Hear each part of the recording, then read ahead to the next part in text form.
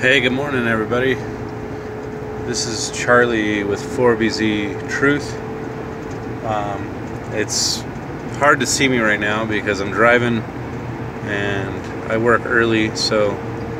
Um, but I had a lot on my mind.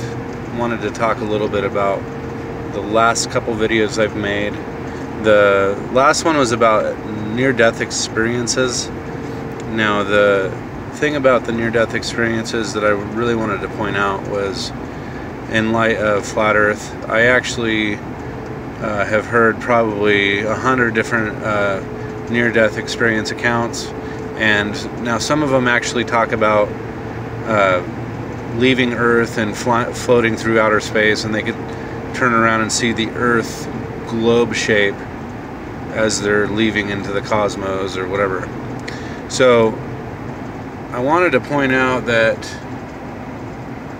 that actually conflicts with any kind of flat earth view, obviously. Now, obviously, one might ask are near death experiences even legitimate? Now, I, uh, I will say that there's a pretty common theme that I get from near death experiences um, when kind of doing the research uh, there's always a theme of coming back uh, like on a mission to love love people. And uh, which is a good message. Um, you know sometimes it's a different creator. Sometimes people come back saying they're part of the god cloud or whatever and that they're just trying to achieve higher consciousness in this reality which again, a lot of these near death experiences point toward New Age thinking. Uh, some of them point toward Christian thinking. Some of them, some of them point toward, you know, extra, or what what you just call uh, world religions uh, that are outside of Christianity. So,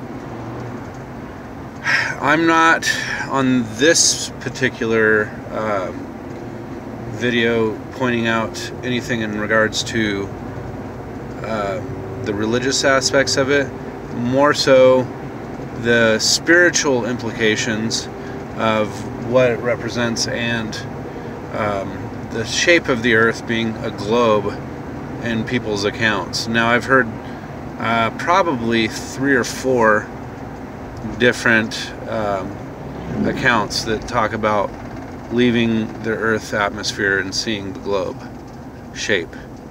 So I don't know if there's any significance to that, but I'm going to do a little more research and put out uh, some more information on a, another video I make about near-death experiences. It's a very broad topic.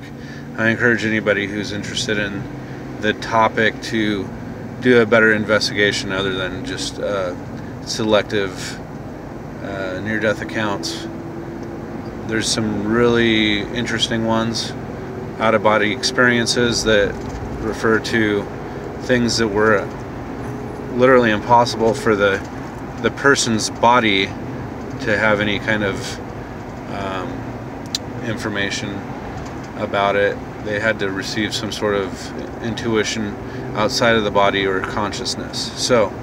Um,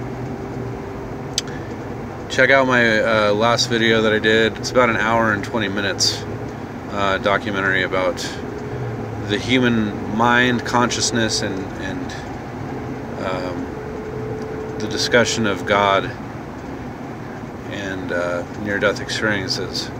So, sorry uh, that I don't have a, a good video here, but I just wanted to kind of put this out there for a minute while I'm driving and let me know what you guys think about near-death experiences or the flat earth and how it could relate. Alright, thanks guys.